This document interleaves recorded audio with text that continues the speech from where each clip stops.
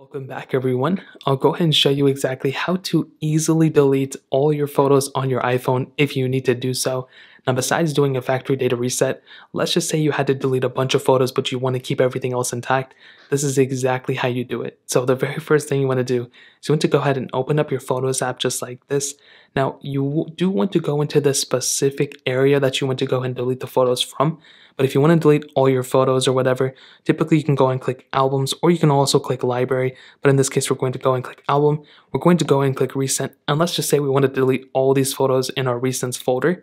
Well, all we would have to do is go ahead and click on the top right button. You want to click select, not there. You want to click select right there. And you want to start highlighting some specific photos.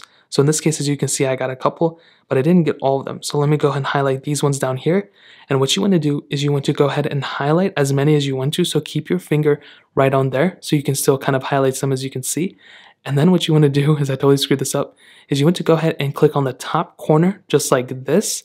And as you can see, it'll go ahead and highlight all those photos for you. Now I totally screwed it up, but let's go ahead and do it again. So we're going to go and click select. We're going to select a few photos just like so.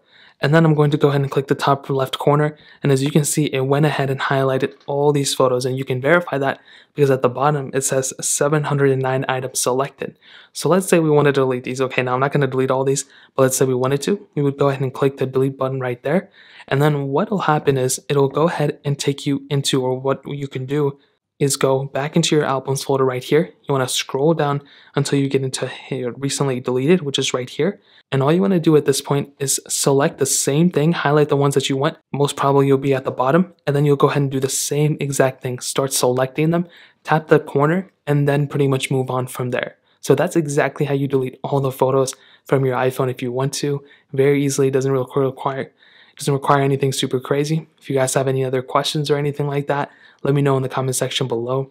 Hit the like button, that would mean so much, but definitely hit that subscribe button. Every single subscriber that we get really does count. So it'd be so much for you guys to hit that. Also check out the other links down in the description as well. My Twitter, my Instagram, my other channels.